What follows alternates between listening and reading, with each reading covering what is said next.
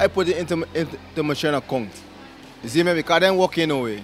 We are already working, but it's a good initiative, real, real talk. As, as, a, as a president, a little man, and the first time you're doing this, I really appreciate this. You see me? But I mean, um, we are smart, man. We ain't getting nothing. Save the president said, look, we give back something to the to the people of, of Guyana, guys, we think, we money. I happy, man. Yes, indeed, the Christmas coming. It could even for me because I don't know if I can get bonus. You see me? So respect our man the same way. Zaga. Respect our man President Ali. I appreciate your initiative. One. Well, that is very good, great.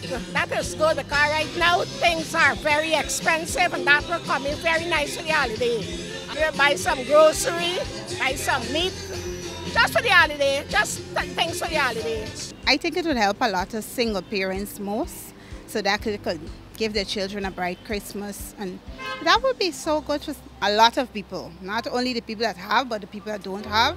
I think that would be really good if they could get that for the Christmas. It would even give some a better home for the Christmas also.